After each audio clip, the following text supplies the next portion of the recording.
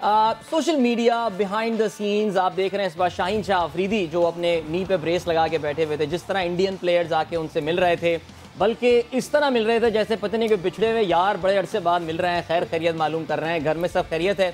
I think these are beautiful gestures by by two side and I am pretty sure जैसे कि लाला कह रहे हैं, बल्कि लाला से जो पहली वाली जनरेशन है अब पता नहीं अजहर साहब को मैं लाला से पहली वाली जनरेशन बोलूँ या वही जनरेशन बोलूँ।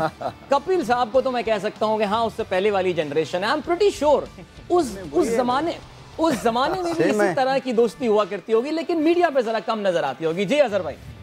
नहीं देखिए मैं तो इनके ज़माने का ही प्लेयर हूँ शायद के ज़माने में लाला के साथ का ही हूँ। कपिल पाजी के साथ भी बहुत क्रिकेट खेला हमारे। कैप्टन भी थे।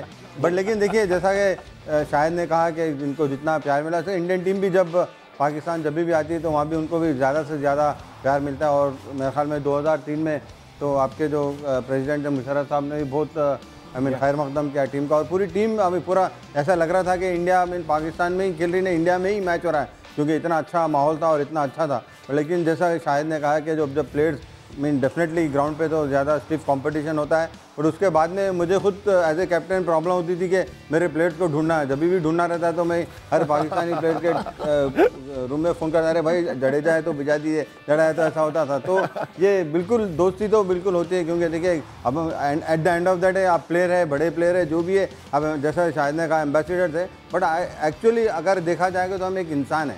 वो बहुत इंपॉर्टेंट है। एक ह्यूमन बींग्स है हम मिलजुल के रहना चाहिए और गेम में ठीक है एक टीम हारती है एक टीम जीतती है वो तो बिल्कुल वो तो अल्लाह का निज़ाम है उसको कुछ आप कुछ कर नहीं सकते।